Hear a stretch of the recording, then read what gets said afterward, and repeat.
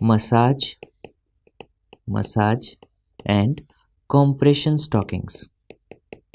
Clear? So these are the components of Bisgaard's regime used for venous ulcers.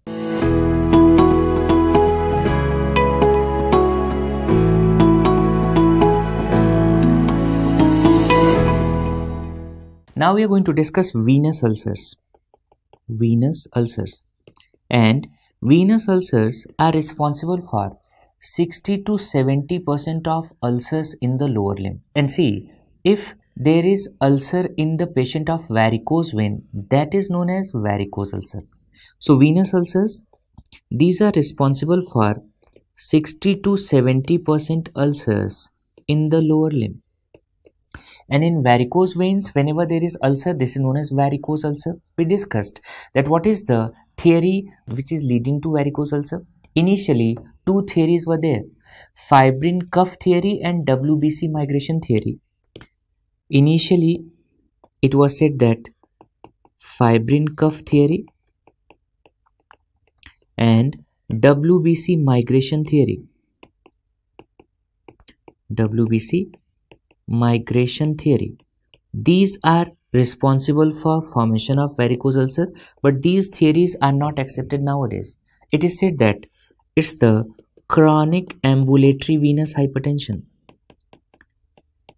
It's the chronic ambulatory venous hypertension which is responsible for the ulceration. Okay, so now see how the ulcer looks like, how the lower limb looks like in the varicose vein.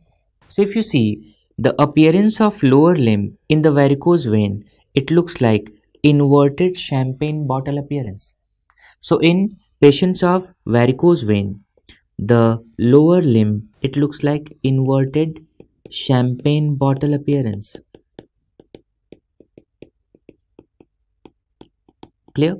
And see how venous or varicose ulcer looks like. See, this is the appearance of varicose ulcer. Now what you can see, you can see that there is granulation tissue pink granulation tissue in the floor. What is the location of this ulcer? If you see this is the medial malleolus here. So this is the medial malleolus and this is the calf. Okay? So the region between medial malleolus and calf this region is known as Gaiter's region so the region between medial malleolus and the calf is known as Gaiter's region and varicose ulcers are usually located in the Gaiter's region. What is the typical location? Just above medial malleolus. Now what else you can see? You can see in the floor there is pink granulation tissue. You can see that there is sloping edges. So in healing ulcers there is sloping edges and what else? There is hyperpigmentation of skin around the ulcer. So this is varicose ulcer or venous ulcer. So what is the characteristic of this ulcer? This is venous ulcer and the characteristic you can see it is located in the Gaiter's region. Location Gaiter's region.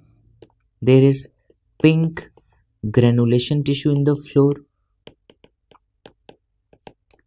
Pink granulation tissue in the floor and there is hyperpigmentation of skin around the ulcer. Okay, and most important, what kind of edges? In healing ulcers or in varicose ulcer there is presence of sloping edges. Sloping edges. Okay?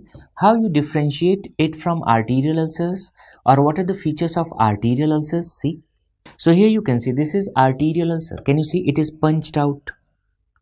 And can you see the skin is thin and shiny? And what else you can see that there is amputation in one of the digit or one of the toe. And what else can you see there are brittle nails. So these are suggestive of ischemia, arterial occlusion. So this is arterial ulcer. And what is the appearance of this arterial ulcer? It is punched out there are signs of ischemia. So what? There is thin shiny skin. Thin shiny skin. What else you can find? You can see brittle nails. So there is presence of brittle nails. And what else? You can notice that there is no hair. So what? Loss of hair. And in this case can you see here? Yes. Number of hairs you can see here. So these are the differences between venous ulcers and arterial ulcers how we manage varicose ulcers or venous ulcers we discussed we manage it by Bisgaard's regime.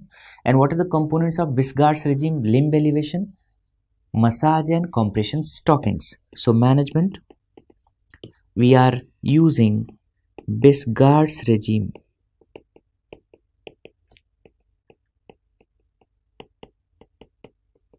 And what are the components of Bisgaard's regime? Limb elevation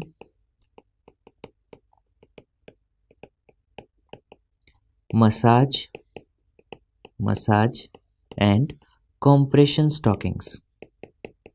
Clear? So these are the components of Bisgaard's regime used for venous ulcers